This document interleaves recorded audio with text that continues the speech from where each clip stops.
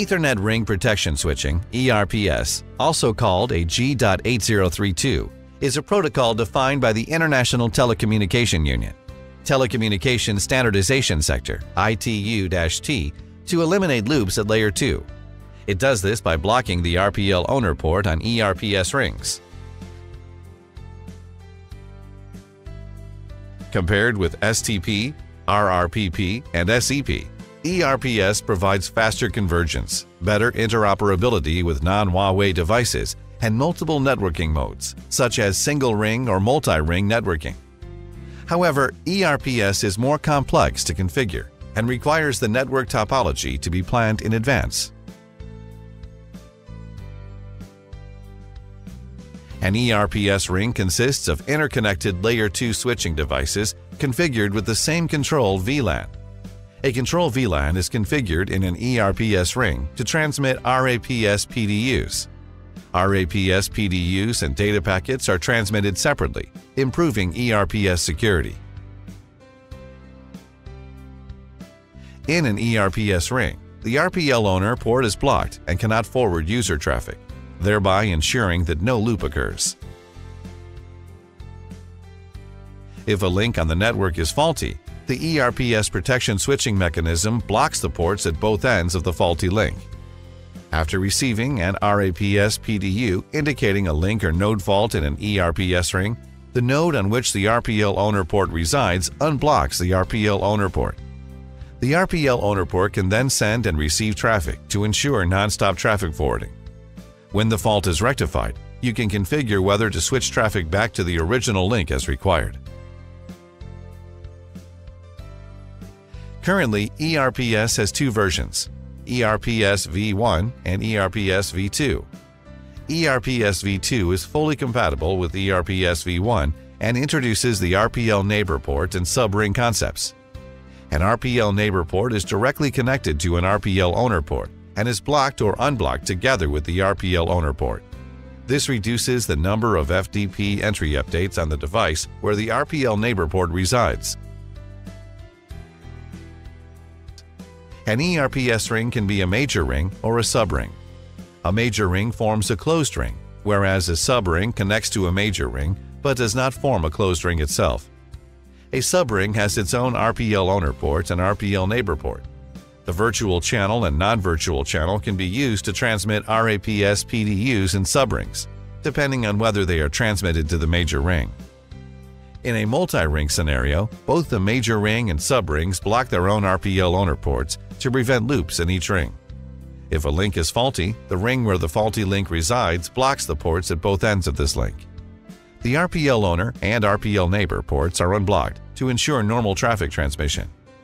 When the fault is rectified, you can configure whether to switch traffic back to the original link as required.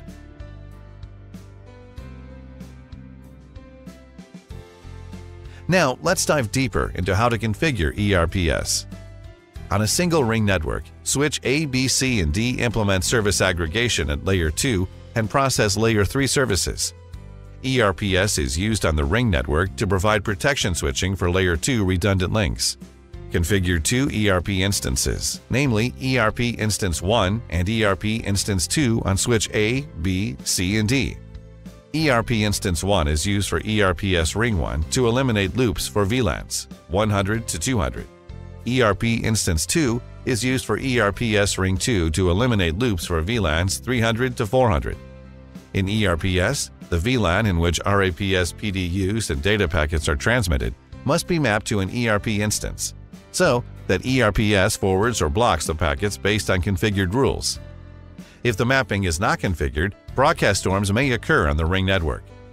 On this network, P1 on switch B is a blocked port in ERPS ring 1, and P2 on switch A is a blocked port in ERPS ring 2. This implements load balancing and link backup. The detailed configuration procedure is as follows. First, configure the link type of all ports to be added to ERPS rings as trunk. The ERPS port must allow packets in the control VLAN and packets in the data VLAN. Therefore, the port must be configured as a trunk or hybrid port. Second, create ERPS Ring 1 and ERPS Ring 2 on all switches on the ring network.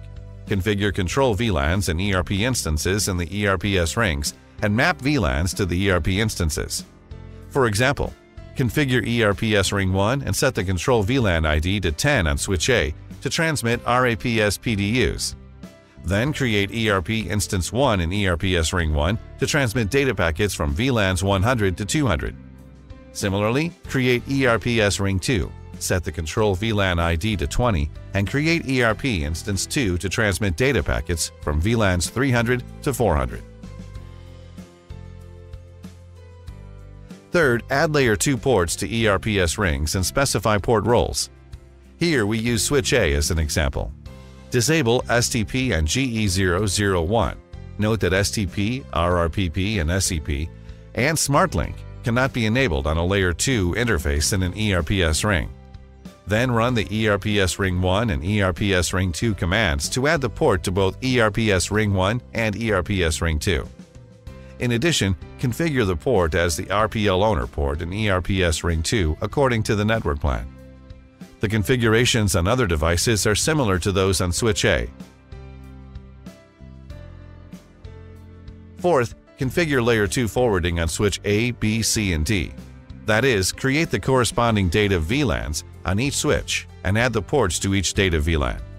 After a port is added to an ERPS ring configured with the control VLAN, the port is added to the control VLAN automatically.